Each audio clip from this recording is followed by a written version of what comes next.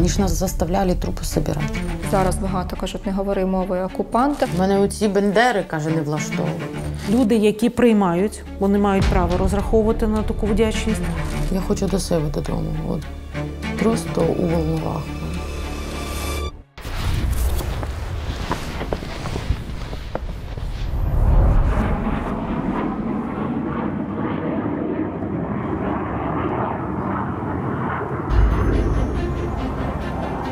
Я завжди, коли воно летить, слідкую, куди воно летить, і, і звідкіля, і що воно завзводить, щоб сюди не прилетіло. Бо тут дуже багато дітей.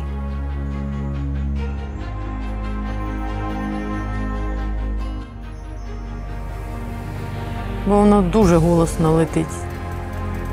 Тому воно і страшно. І ти боїшся, ти не знаєш, куди воно прилетить. Анастасія з Волновахи. Я працювала все, бо в Волновасі на хлібзаводі, на Афродіті. Мене все влаштовувало. Донька ходила до школи, вона гарно вчилася. Чоловік він сам на себе працював. Ну, тобто ми жили своїм звичайним життям, як жили всі до війни ці люди. Було дуже багато хазяйства. Тобто в нас була стада овечок, в нас було три машини, е, в нас було все. Ну, ми працювали самі на себе, ну, все було. Війна забрала у Насті все, крім доньки, і змусила почати життя спочатку у новому статусі ВПО. За оцінками Міністерства соцполітики, сьогодні таких як вона майже 5 мільйонів, і їхня інтеграція у нових громадах проходить вкрай важко. Важко адаптуватись, тому що вони переживають втрату. Навіть втрата житла це втрата е, того місця, де було мені комфортно. Я його створював. Те, що було, ми вже все втратили. Ніхто не знає. Вже надії на життя нема. Людина переїжджає на нове місце, е, вона це не обирає. Вона вимушена взяти те, що їй пропонують. І тому для неї це травматично. Але там було її життя, і це як втрата життя. Влітку 2022-го Україною пронеслася хвиля новин про конфлікти між переселенцями та мешканцями громад, у які вони переїхали. Один із найгучніших стався на Волині між родиною з Бахмута і завідувачкою дитячого садочка. Завідочка ді- садку, вона нас ущемляє. Сьогодні я прийшла, жвачки наліплені на стіночках дитячих. Розумієте, вони сьогодні пожили, це все понівечили, і вони переїхали, а нам залишається, самі розумієте, в якомусь стані. Анастасія на собі відчула, що таке бути чужинкою у власній країні. Я не відчуваю себе тут вдома. Ні. Так, земля моя, люди мої, всі, весь цей український народ. Але я не вдома. Експерти вирізняють кілька причин, які ускладнюють початок нового життя для переселенців. І головна важкий ментальний стан, якого не розуміють ті, хто приймає переселенців у себе. Внутрішньо переміщені особи. В них є свій досвід, досвід важкий. Люди, які ніколи не стикалися з воєнною реальністю, от так, щоб не тільки по телевізору чи тривоги, які е, гудять, але ніколи не привикало, не прилітало, їм складно це уявити. Будинок згорів, машини згорівші. Чоловіка побили дуже. Він був весь, весь. На ньому навіть живої, я не знаю, хоча б якийсь міліметр тіла було без синяка. Воно не було. В нього була дважди голова розбита. У нього на спині дуже е, великі шрами. Тобто вони порізали йому спину, написали крест там. Раздевали меня тоже пояса, они проверяли, смотрели, все, абсолютно все. Понад дорогой лежат трупы, сгоревшие машины. И они просто, они ходят, они ж нас заставляли трупы собирать. Трупы мы собирали, солдаты это были. Это было шесть с половиной тысяч трупов. Это были подростки, это были женщины, это были дети. Было очень російських солдатів много. Їх настільки було багато. Там дитинка плаче, там мати гукає свого дитя Це, це дуже страшно. Воно, воно не покидає мене, воно кожен день воно сниться. Я не сплю, я з цього просипаюсь. Я дуже багато таблеток приймаю. Ключове розуміти обом сторонам, що в них принципово різний життєвий досвід. І тому в них будуть різні реакції. І що різні реакції на одні й ті ж самі події це нормально. Досвід пережитого може штовхати переселенців до різних реакцій. Хтось плаче, хтось шукає розради в згубних звичках, хтось замикається в собі або впадає у стан депресії. Ці реакції можуть дратувати приймаючу сторону, звідти і конфлікти. Люди, до яких вони приїхали, вони теж втомилися від того, що в них постійні нові навантаження. Тому що була е, громада однієї кількості. Тут приїхала величезна чи певна кількість інших людей із своїми баченнями, і своїми традиціями, і своїм досвідом травмівним, і своїми очікуваннями, і вони вже змінили життя громади. Людина, коли відчуває дуже багато тривоги, вона може бути агресивною. І тут ця агресія спрямована знову ж таки. Люди приїхали на чиюсь територію. Рішення: якщо ви ВПО, не соромтеся звертатися по психологічну допомогу. Це нормально. Фахівці допоможуть подолати наслідки травматичного досвіду і швидше адаптуватися до нового життя. Якщо ви приймаєте ВПО, пам'ятайте, що ці люди втратили все своє життя, і їм потрібен час, щоб прийти до тями. Центри безкоштовної психологічної допомоги діють у Волинській, Львівській, Івано-Франківській та Чернівецькій областях. Також працює всеукраїнський кол-центр психологічної допомоги для тих, кому вкрай важко психологічно адаптуватися на новому місці.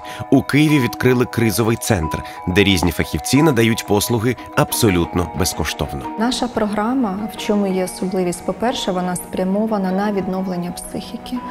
Е, Зараз кожна людина е, вона відчуває невизначеність, багато тривоги, не, не, не знає, що буде в майбутньому. Багато людей, які відчувають тілесні, фізичні стани, де напруження в тілі. Це теж як наслідки тривоги.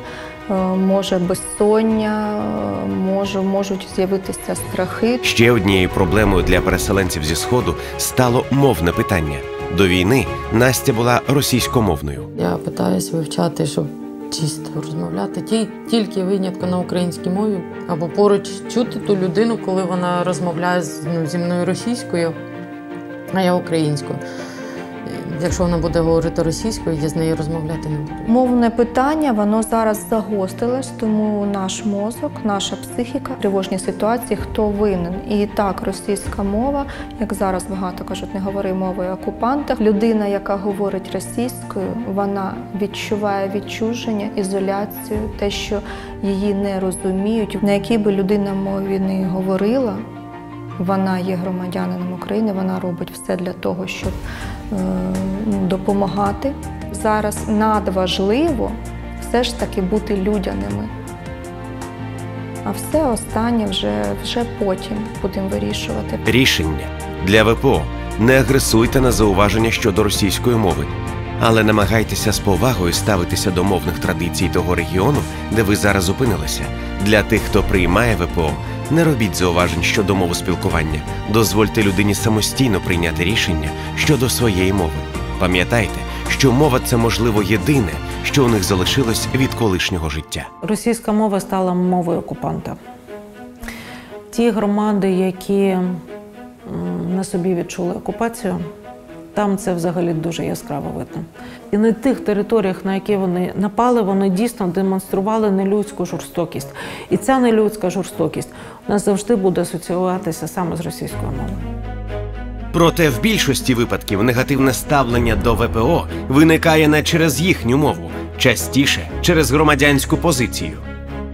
Тут жіночка була, але вона з'їхала. Вона сама з Донецька. Ми навіть посварилися. Я думала, що я її ударю, але я її два рази полотенцем ударила. Бо я вже я не стрималася просто. Бо вона розмовляє чисто російською мовою, а я ну, як сурж.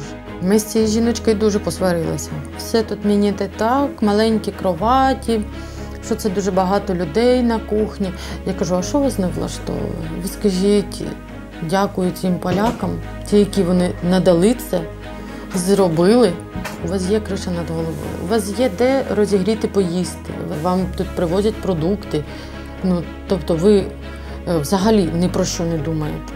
І вас це зовсім нічого не влаштовує. У мене оці бендери, каже, не влаштовують. Якщо ви кажу, будете так розмовляти, я буду з вами битися.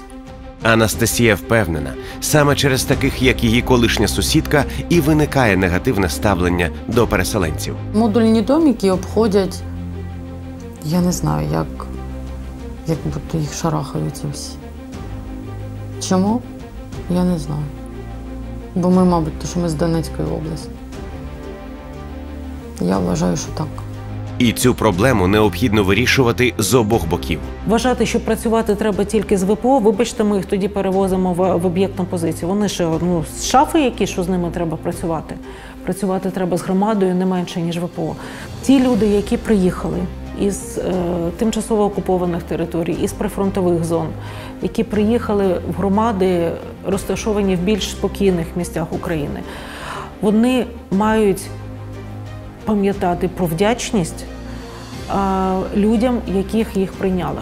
Люди, які приймають, вони мають право розраховувати на таку вдячність, але разом з тим вони мають відчувати і демонструвати повагу і розуміння до того складного досвіду, через який пройшли ці люди. Рішення: якщо ви ВПО, не забувайте дякувати людям, які надають вам допомогу. Пам'ятайте, що вони вам нічого не винні. Якщо ви приймаєте ВПО, не вимагайте вдячності силоміць. Пам'ятайте, чому ми усі опинилися у такій ситуації.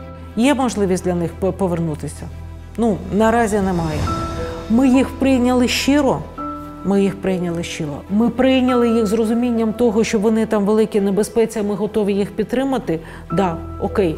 Пам'ятаємо про це. Розуміємо, що на сьогодні ми втомилися, і розуміємо, що треба йти далі. Анастасія так і не змогла почати нове життя на Київщині. Жінка планує їхати в Польщу подалі від ракетних обстрілів та повітряних тривог. Проте найбільше мріє повернутися додому. Я хочу до себе додому. От просто у Волноваху. Більше нічого не хочеться. Напишіть у коментарях, чи були ви свідками негативного ставлення до переселенців, та як, на вашу думку, варто вирішувати конфліктні ситуації. Адже нам, українцям, треба буде разом жити далі. Щедрую, щедрівочка, прилетіла ластівочка, стала собі щебетати, господаря викликати. Вийди, вийди, господарю, подивися на кошарю. Там овочки покотилися, ягнички народились. Тебе товар весь хороший, будеш золотий, мірку грошей. Хоч не гроші, то полова, в тебе жінка чорноброва.